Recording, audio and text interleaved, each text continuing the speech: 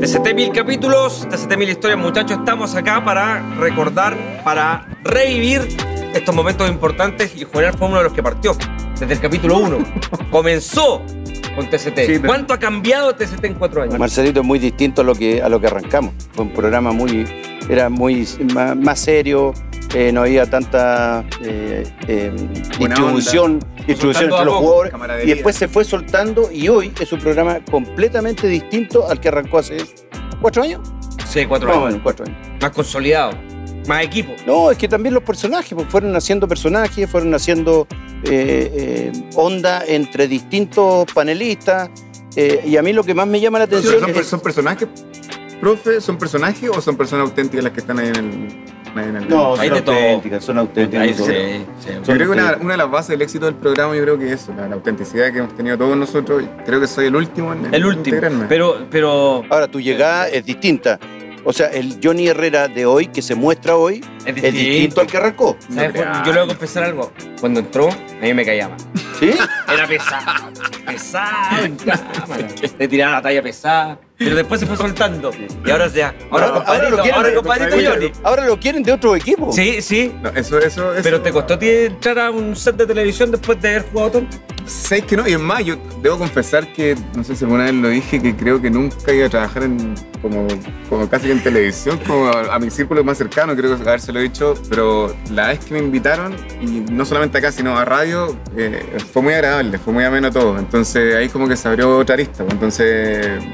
Y recontra feliz, pues, o sea, no, si hay, aparte la buena onda que hay en el grupo, la, la- la- la mezcla esta de periodistas con, con gente de fútbol, muchas veces nosotros, los, los exfutbolistas, pelamos a los periodistas que no tienen idea. Sí, sí, No es tu verdad, caso, verdad. no es tu Este caso, no Marcelo. tiene idea. No es tu caso, Marcelo. bueno, labura, bueno, su vida de buena pelota, pero.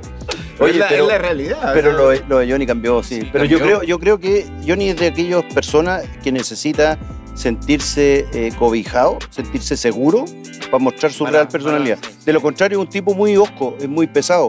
Pero acá ha logrado abrir, de verdad, Sí, estoy diciendo, ha, logrado abrir su una parte como más íntima, eh, más afectuosa. Sí, tú sabes, bueno, Johnny, que gracias a tus intervenciones en TCT, ahora a Cristóbal Campos le dicen Campito compadre.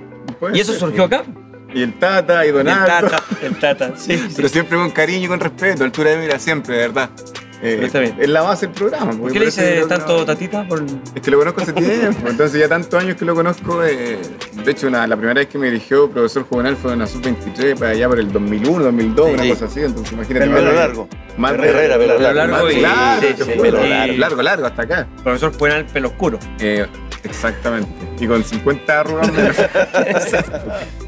Sí, pero bueno, eso ha sido el, eh, eh, gran parte de este programa, cómo se ha ido, cómo se ha ido dando. Eh, ahora, ¿sientes que te quieren de todos los equipos ahora, no? No. No, todavía no, pero es que te, se te llega todo. po. Sí, sí, pero sí me han dicho, he, he recibido como halagos por la participación en el, en el- en el programa. eh. Yo, yo siempre digo lo mismo, o sea, eh, así somos nosotros, así somos la gran mayoría.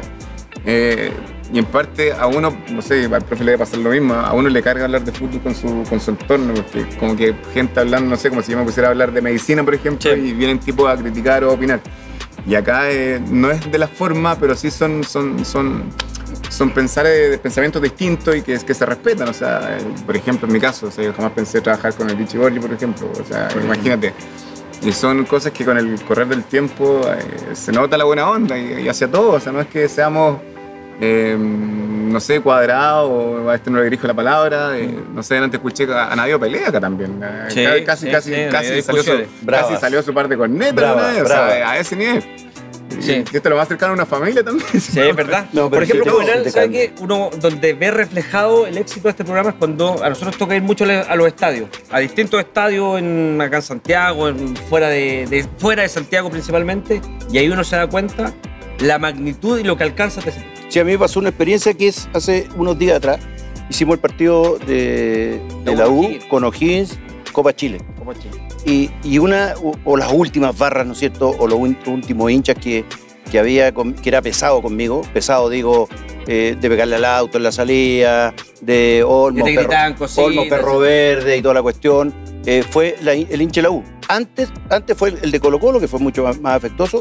Sin embargo, ese día estuvimos hasta, hasta minutos antes del, eh, eh, del partido y fue totalmente distinto, que yo ya lo había sentido ya. Fue totalmente distinto, profe, saquemos una foto, profe, me gusta el programa, qué bueno, hablen más de esto, no hablen, más, no hablen tanto del otro equipo, pero fue un, hincha eh, más cercano. No el duro, capaz que, capaz no el duro de la barra, pero el resto, del, de- no digo todo el estadio, porque fueron, no fueron tantas personas, pero sí uno tiene la seguridad de estar parado en un lugar determinado. Bueno, a mí la única parte donde me, me pifiaron. Rancagua. No, no, No, Rancagua. no, en el Estadio No, Monumental. de Colo-Colo. Sí, y, y esto, ¿sabe por qué se generó? Por esta rivalidad con Daniel Arrieta. Porque, Porque- te camiseteáis también. Sí, po, porque yo salí ese día a la cancha Arrieta, Monumental. Me suena, me Sí. suena. Arrieta. Y me pifiaron, pifias, pifias, pifias. Y al minuto después sale Daniel Arrieta y la gente se va, o sea, Ah, puso de pie, de pie. Eso, bueno, eso ha generado también eh, el TCT con Arrieta y, No, y, y- y y quién ha, habla. y ha generado mucho este programa. Sí. Es más, Oye. hay compañeros que incluso encontraron hasta Polola gracias al programa. Sí, sí. Arrieta. Bendito fútbol. Gracias, fútbol. No, no, no. Gracias, TCT. Oye, Gracias, TCT. pregunta. Au. ¿Quién hace mejores informes? Ah, ya, De Pero entre nosotros. De aquí no sale, de aquí no sale. de aquí no sale. Entre nosotros. Sí. De verdad, yo creo que tú eres mucho más analítico, tú eres mucho más didáctico, tú vas a la información dura. Eh, Arrieta es una biblia. Pero Arrieta es más completo. Arrieta viene a disertar. Viene a Viene a disertar disertar. y si termina eh, diciendo- dice exactamente lo mismo. a mí lo, lo que más me gustó fue la invención, una de las tantas invenciones del, del programa, cuando les dijeron, tienen cinco minutos cada uno. Sí. No, y le metieron ficha, pero cada uno. Sí, sí, todo bueno, todo bueno. Todo Oye, y el tema, hablando de los, de los mil capítulos, el tema del doble sentido, ¿cómo nos manejamos en la casa? A usted, por ejemplo, yo sé que a usted le dan en la casa, sí, la señora ronca en la casa. ¿Sabe por qué es juvenal usted? De- así, Sí. mientras cuando están todos así, de repente tirando la talla. Como ¡pum! Chavo el Ocho. Como el chavo el 8, así. ¡Pum! Todos La- ahí callados. Tira Sí, como la todos precisa. callados. Profesor Girafale, profesor Girafale. No, es que, es que la, la- la broma así como tensa, pesada, eh, no- nunca me gustó, pero sí me gustó el, el pincelazo. Sí me Sí, gustó sí. influir en el otro para que dijera tal cosa. Eso me encanta. Me encanta. Echarle leña al fuego. Sí. Eh, un maderito al fuego. Sí, sí, sí, le echan No, al fuego. Un caso- carbonero, carbonero. caso, lo- A mí me paquea. Yo de- debo ser de uno. Cuando uno, uno tú- no es te salen con tus casillas, No, sí. no. Mí, Pero tú nunca te salís de las casillas. Sí, sí, sí. a mí mi señora me dice, Herrera, te estoy viendo. Y cuando me dice Herrera, porque ya está, ya Está está, en el ya- claro, ya está. Sin problema. Pero es parte de eso. y Si no fuera, Sí. si fuéramos tan grave, tan serio, no, no, no sería lo mismo. Ahora, esto arrancó de una forma y yo creo que el, el, eh, el canal, o sea, el canal, el programa, los productores rompieron esto y lo rompieron con una pregunta que usted me quería hacer. Absolutamente Sí. la rompieron. Cacha, ¿se acuerda del teatro? No, no, sí, sí, yo me acordaba, pero fue de los primeros, de los primeros capítulos cuando eh, Juvenal comenzó a hablar de una anécdota en la Unión Española cuando era técnico de la Unión, año 99, Ya. con un jugador de defensa central, Eduardo Soto, Que lo dejó afuera y Eduardo Soto lo encaró. Bueno, fue tanto que lo encaró que años después, después de ese programa, Eduardo Soto estuvo aquí. Sí, el tema, el tema es que yo cuento esa anécdota y seguramente Eduardo estaba o, o la producción llamó y lo hacen entrar, lo hacen entrar por atrás. Y yo estaba conversando y de repente, y bueno, mira quién está atrás. Yo miro y Eduardo, Eduardo todavía está enojado.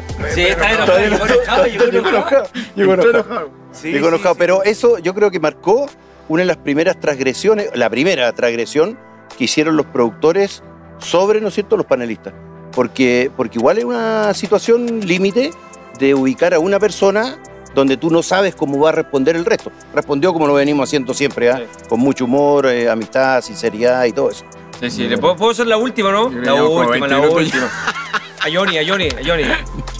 Sí, sí. ¿Tú alguna vez te imaginaste estar analizando, hablando, haciendo formaciones ideales de Colo Colo? En mi vida. Pero así todo, o sea, bueno, una de las condiciones, no sé si condiciones, pero cuando yo entré acá, no me iban a quitar el. el, el, el- Sí, sí, el- sí. el fanatismo de un equipo, por no decir anticolocolino, eh, ni a palo, que era como parte de y era nada que hacer. O sea, bueno, nací de esa forma, no, no, no soy como medias tintas, sino lo que es, no.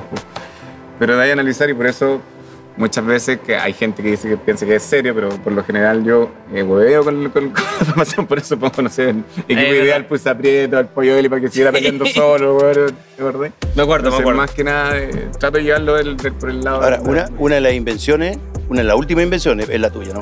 El tema de la grabación y aguante la U. eh, Eso, sí, eso ha sido, eso ha sido terminante todo, entonces hasta nos vamos a despedir. Sí, nos vamos a Nos vamos a despedir. Hasta, hasta el Tata me- no, no me habla nunca, me habla solo para pedirme mensajes de Sí, saludo. sí. Ya, ¿Cómo sería un saludo? Un saludo. Un saludo, Hola, y- señor Herrera. mira, un saludo tuyo y, y- y nos despedimos Sí, nos con, despedimos. con la Estamos frase. listos, ¿no? Sí, hola, soy Junior Herrera. Y nos- nosotros nos despedimos con un la frase. saludo a todo TST.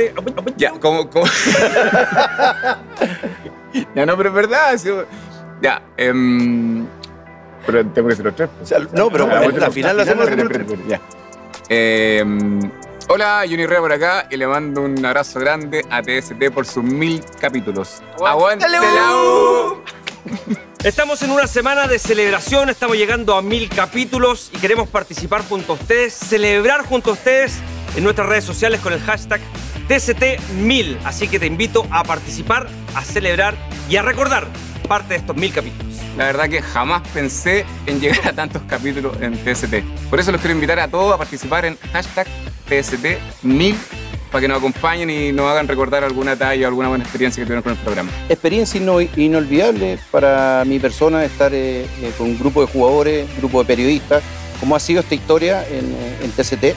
Así es que lo quiero invitar de manera muy afectuosa a que nos acompañen en las redes sociales con el hashtag TCT1000.